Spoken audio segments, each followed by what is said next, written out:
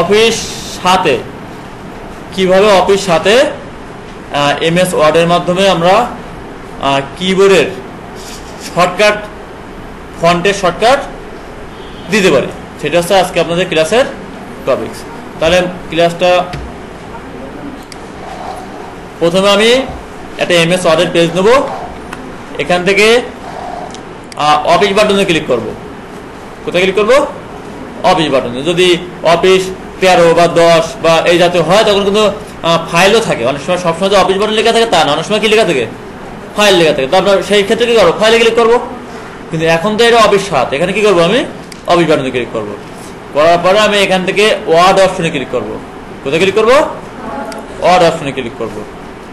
এখানে দেখেন পপুলার আছে ডিসপ্লে আছে প্রুফিং আছে সেভ আছে অ্যাডভান্স আছে। আমরা টেক্সের বাউন্ডারিজ যে ব্যাপারটা ছিল টেক্স বাউন্ডারিজ মনে আছে? অ্যাডভান্সে ক্লিক করে যে আমরা কীভাবে একটা কোনো পেজে টেক্সট বাউন্ডারিজ আনতে পারি। অ্যাডভান্সে ক্লিক করে আমি শিখাইছিলাম যে শো ডকুমেন্ট কন্টেন্টটা খুঁজে বের করতে হবে।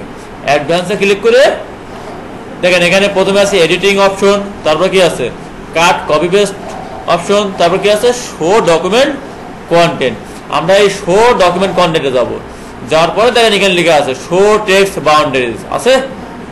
দেখেন, এই টিকটা তুলে দেবো মানে দেখেন আমার পেজের বাউন্ডারি নাই। তাই না? আচ্ছা এটা আমি আবার ব্যাকে নিয়ে আসব। এখানে আমি অফিস বাটনে ক্লিক করব ওয়ার্ড অপশনে ক্লিক করব। করার পরে আমি অ্যাডভান্সডে ক্লিক করব। করে এখান থেকে খুঁজবো কি? মাউস আগে ঘুরে আসছি। শো ডকুমেন্ট কন্টেন্ট এখানে শো টেক্সট বাউন্ডারিতে ক্লিক করে ওকে। দেখেন, আমার পেজের বাউন্ডারিটা চলে এসেছে। আমার টেক্সের যে বাউন্ডারিটা সেটা চলে এসেছে। তাহলে বুঝতে পারলাম যে কীভাবে একটা পেজের অফিস হাতে একটা পেজের বাউন্ডারি আসতে হয়। আর অফিস যদি তিন হতো, তাহলে উপরে টুলস লেখা থাকে। কি লেখা থাকে? টুলস দেখি এটা আমি এখন সম্ভব হয় কিনা? যদি সম্ভব হয়, আমি এখনই দেখাই দিচ্ছি যে অফিস তিনে কোথার থেকে। আমি এখানে অফিস তিনের একটা কোথাও মাইক্রোসফট অফিসে যাচ্ছি। মাইক্রোসফট অফিস কই বাবা? এই যে মাইক্রোসফট অফিস এখান থেকে আমি এই যে মাইক্রোসফট অফিস ওয়ার্ড দুই হাজার তিন, এটা নিলাম। একটু ইনস্টল নিচ্ছে। পেজটা এখনই ওপেন হয়ে যাবে। পেজটা ওপেন হচ্ছে। এই দেখেন, এটা কি ওপেন হয়েছে? এটা হচ্ছে অফিস দুই হাজার তিন ওপেন হয়েছে। তা এখান থেকে আমরা কোথাতে পেতে পারি? আমরা এখান থেকে টুলসে যাব। টুলস এটা আলাদা সিস্টেম টুলসে যাই আমি অপশনে যাব। কোথায় যাব? অপশনে ক্লিক করব। পরে এখানে কি আছে? টেক্সট বাউন্ডারি দেখছেন? এখানে ক্লিক করব মানে টেক্সটটা তুলে দিলাম। যে ওকে দেখেন টেক্সটের বাউন্ডারি আছে? নাই। আচ্ছা আমি নতুন করে নিয়ে আসি। টুলসে যাব অপশনে যাব টেক্সট বাউন্ডারিজ আছে? ওকে এই দেখেন, আমার পেজ আমার বাউন্ডারিটা চলে এসেছে। আমি কি বুঝতে পারলাম? আচ্ছা তাহলে আমি কেটে দিই। আমার এটা তো আর লাগছে না। এটা আমি কেটে দিলাম। আচ্ছা এবার আমি যেটা শর্টকাট ফন্টের শর্টকাট না? এখানে অবিবরণে ক্লিক করলাম অড অপশন একই জায়গায়। কিন্তু অ্যাডভান্সে যাব না না যাবে কাস্টমাইজে যাব। কোথায় যাব? কাস্টমাইজে যাব। কাস্টমাইজে এখানে আমি নিচে লেখা আছে, দেখেন কিবোর্ড শর্টকাট দেখতে পাচ্ছেন এখানে? এখানে কি লেখা আছে? কিবোর্ড শর্টকাট এখানে? কাস্টমাইজ লেখা আছে। এই কাস্টমাইজে আমি ক্লিক করব। এই কাস্টমাইজে ক্লিক করব। তাহলে এখান থেকে আমি কিবোর্ডের মানে ফন্টের কিবোর্ড শর্টকাট পাবো। তাহলে এখানে আমি ফন্টের কিবোর্ড শর্টকাট দেবো না? তাহলে এখানে আমি কি করব? এই যে ক্যাটাগরি আছে ক্যাটাগরি থেকে আমার ফন্ট সিলেক্ট করে নিতে হবে। কি করতে হবে? মাউসের চাকা ঘোরাবো দেখুন ফন্ট আছে কোথাও। এই যে আছে। আছে? এই ফন্টটা সিলেক্ট করার সাথে সাথে দেখেন, এখানে আমার কি করছে? ফন্ট চলে আসছে। যেমন অটো টেক্সে ক্লিক করছে, এখানে অটো টেক্স আসছে। এখানে স্টাইলে ক্লিক করছে স্টাইল আসছে। তাহলে আমার লাগবে ফন্ট ফন্টে ক্লিক করছে যে ফন্ট আসছে। আচ্ছা কি ফন্ট আমি ধরেন যে ইংলিশ ফন্টের বা বাংলা, ধরেন বাংলা ফন্টের আমি সুদানিয়ান যে, এর আমি কি করব? এখন আমি কিবোর্ডে শর্টকাট দেবো। যে আমি কিবোর্ডে চাপ দেবো, আমার অটো হয়ে যাবে। আমার মাউস দেওয়া লাগবে না ক্লিকও করা লাগবে না খুঁজাও লাগবে না। সেক্ষেত্রে আমি কি করতে পারি? এখান থেকে আমি এইভাবে যেতে হবে আমার সুদা নিয়ম যায় মাউসের টাকা করে দ্রুত যায়, তার সাথে দ্রুত যায়। যদি ক্লিক করে আমি বাটনটা চাপ দিই। এস সুতা নিয়ন্ত্রণ প্রথম অক্ষর কি? এস তাই এস লাইন পেয়ে গেছে। এবারে মাউসের টাকা ঘুরাই, অল্প একটু, তাই না? এই যে এখানে সুশ্রী এমজি এগুলো কিন্তু ফন্ট এই যে সুতা এমজি পাইছি? তো এটা আপনি যে ফন্টেরই ইচ্ছা দিতে পারেন।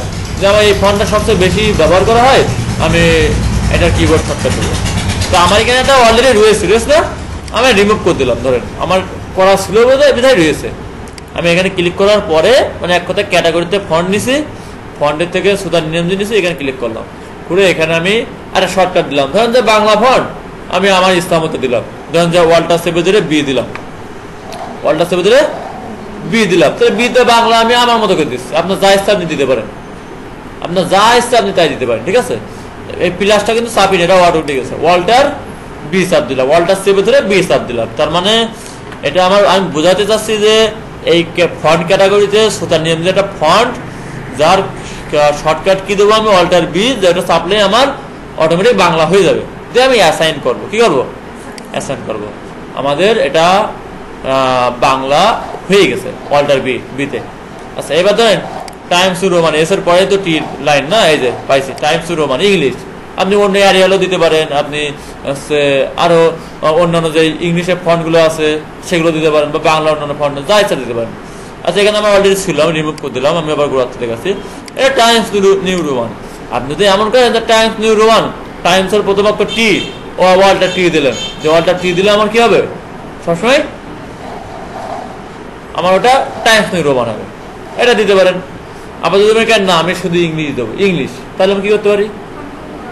ওয়ার্ল্ড আসতে ভেতরে আমি ই সাপ দিলাম, যে ইংলিশ। মানে আমার মতো দিচ্ছি।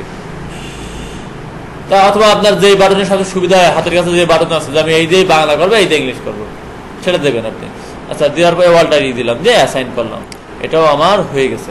ক্লোজ করে দিলাম, আর দরকার নেই, কাজ শেষ। ওকে আচ্ছা এবার দেখি টেস্ট করে দেখি হয়েছে কিনা। এই বক্সে কি লেখা আছে, সুদানি? এম জে আমি ইংলিশ করব। কিছুই ধরবো না। ওয়ালটা চাপ দিছি, আমি ই চাপ দিছি। দেখেন, এখানে টাইমস নিউ রোমান হয়ে গেছে। গেছে? এখন কি উঠবে, দেখেন তো? ইংলিশ উঠছে। হ্যাঁ? আচ্ছা আমি এবার কিছুই চাপ দেবো না, আমি কিবোর্ড থেকে ওয়ালটার বি চাপ দেবো। দেখেন সুতানি এম জমা অটোমেটিক হয়ে গেছে। উঠছে, বাংলা? বাংলা হয়েছে, দেখেন তো? তাহলে কি আমি বুঝলাম